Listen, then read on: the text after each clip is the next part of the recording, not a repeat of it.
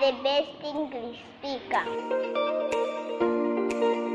The MTCC outreach team identifies children like Ellen. We go out into the communities like where we are and we work with families affected by orphanhood, poverty, HIV AIDS, as well as COVID-19.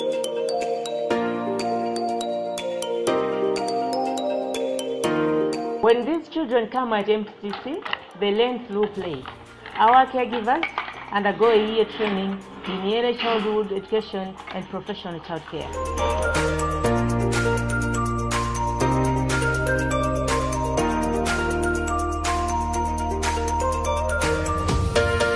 Every day, children like Ellen and their friends get their meals, starting by a hot, nutritious breakfast meal every morning.